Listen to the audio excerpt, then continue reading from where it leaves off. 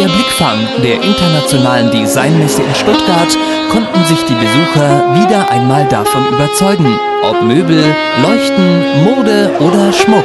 Hier ist Design lebendig. Stuttgart ist die größte Designmesse dieser Art im deutschsprachigen Raum, wahrscheinlich sogar im, oder ganz sicher auch im europäischen Raum.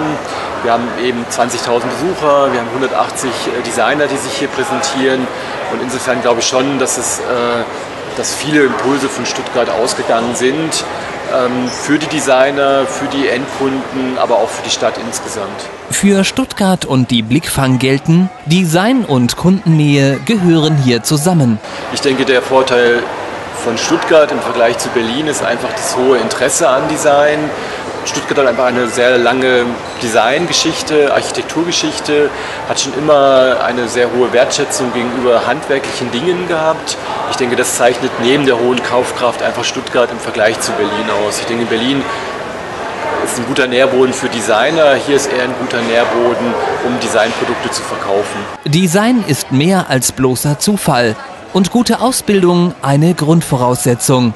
Wir haben im Bereich der Möbel, die wir hier alle bedienen, Walter Knoll, wir haben Rolf Benz, wir haben Richard Lampert direkt hier in Stuttgart, wir haben Automobilfirmen von Weltrang. All das gibt es hier und dazu noch jede Menge kleine Zulieferer. Das heißt, der Bedarf an Design ist hier um ein Vielfaches höher als hier äh, in Städten wie Berlin oder Hamburg. Das ist ein Entwurf von Beatus Kopp, der sich mit dem äh, Problem beschäftigt, wie schaffe ich es, die Kabel elegant von meinem Computer runter an den Boden zu führen.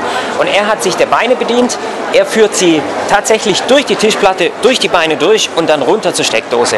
Ein, wie ich finde, ziemlich äh, raffinierter Gedanke. Also unser Ziel war immer, dass wir, dass wir mit dem Design, was wir hier zeigen, das soll markttauglich sein, es soll, ich sag mal, ganz, es soll funktionieren, es soll ähm, praktikabel sein. Das ist die Philosophie, die wir mit der Blickfang immer äh, verfolgt haben. Und ähm, ja, und ich sehe es genauso. Also ich denke, diese, diese Attitüde von Design, die zeitweilig ein bisschen im Elfenbeinturm stattgefunden hat, die mit einer sehr großen Kühle daherkam, mit einer gewissen, vielleicht auch manchmal Arroganz. Das hat sich extrem verändert. Es ist, äh, es ist lustiger geworden, farbenfroher geworden, wärmer geworden und näher an die, an die Menschen herangetragen worden in den letzten Jahren. Es durchdringt ja auch mittlerweile alle Bereiche. Ich denke, in jedem ähm, sei es Auto, sei es äh, andere Konsumgüter. Also ohne Design funktioniert einfach auch äh, kein Produkt mehr. Viele Produkte funktionieren sogar zum Großteil nur über Design, weil sie sich technisch gar nicht mehr groß unterscheiden. Da hat sich schon viel verändert in diesen 18 Jahren, seitdem wir die Blickfang machen. Also das Prinzip der Leuchte ist einfach, dass diese 110 Papierlamellen per Hand aufgeklebt werden. Und zwar geschieht das eben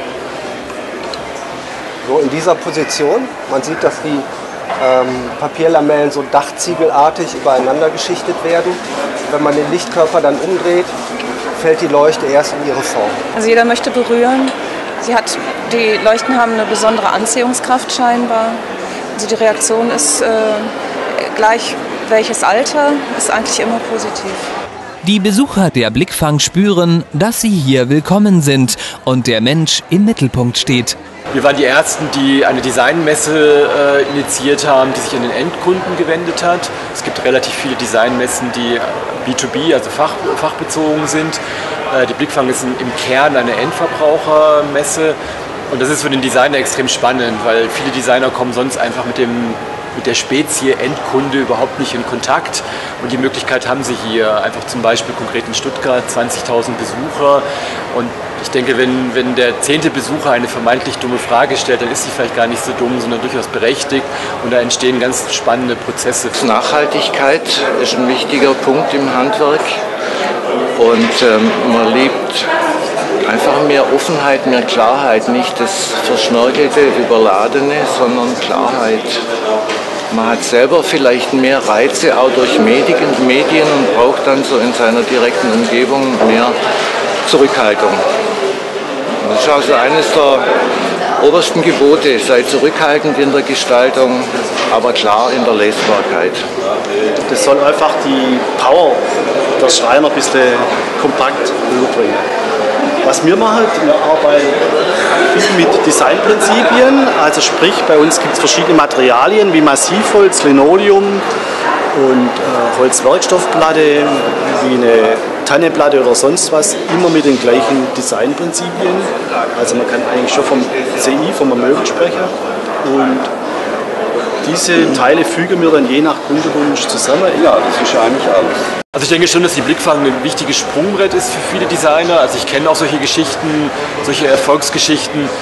Ähm, wir machen auch viel Nachwuchsarbeit. Es präsentieren sich auf jeder Blickfang immer vier bis fünf Hochschulen.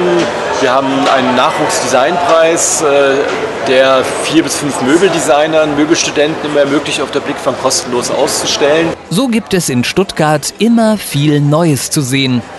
Wir sind ein Startup-Unternehmen, äh, das sich äh, auf dieser Messe Blickfang das erste Mal präsentiert. Unsere Idee war, dieses Material Stahl in ein gutes Licht zu rücken in verschiedensten Formen mit verschiedenen Anwendungen im Wohnaccessoires-Bereich.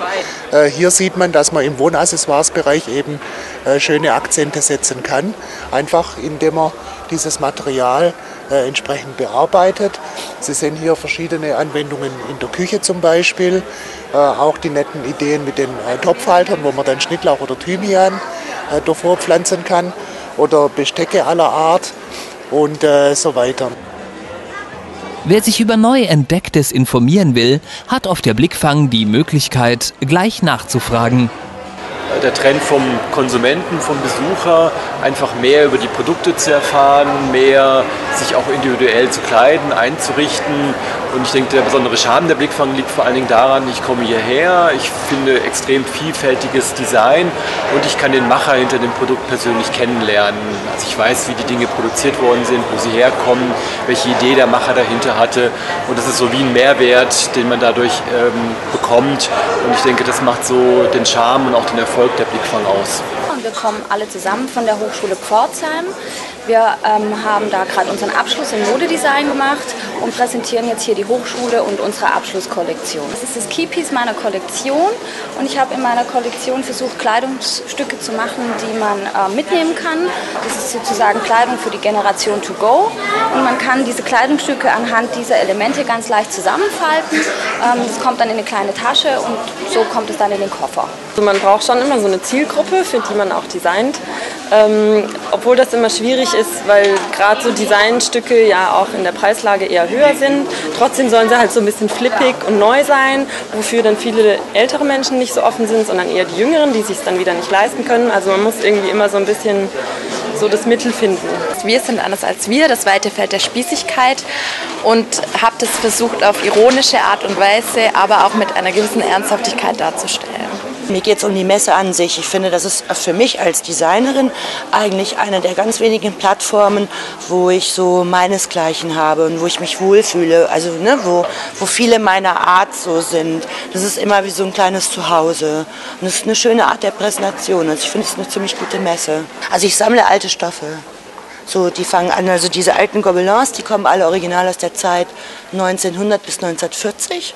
Und dann fängt das an, so die 50er Jahre, aber meistens die 60er. Das ist also mein Schwerpunkt. Es braucht auch überhaupt nicht lange, eine halbe Stunde.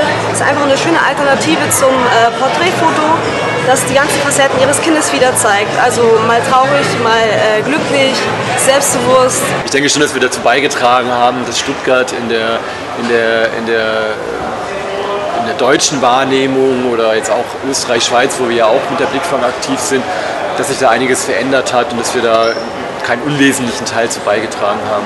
Das denke ich schon. Mon Dieu, war das wieder schön dieses Jahr. Wunderbar, wunderbar. Hat mir sehr gut gefallen.